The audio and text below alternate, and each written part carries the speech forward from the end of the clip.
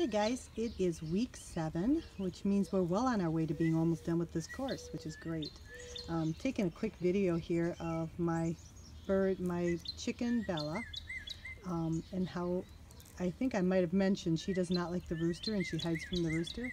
She is taken to hanging out with my pig, and as you can see, she grazes and browses with him throughout the yard now. Um, and so he's become her buddy, her, her bodyguard, if you will.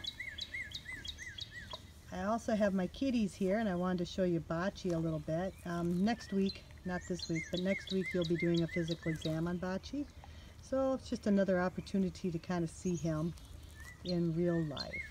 So this week we are talking about safety and it's not the most exciting topic, um, but we're going through some stuff like OSHA and requirements and safety data sheets and that kind of fun stuff.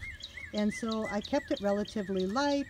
There's a few, um, there's some reading to do and there's a full chapter in the book. And then I have a quiz. Um, and then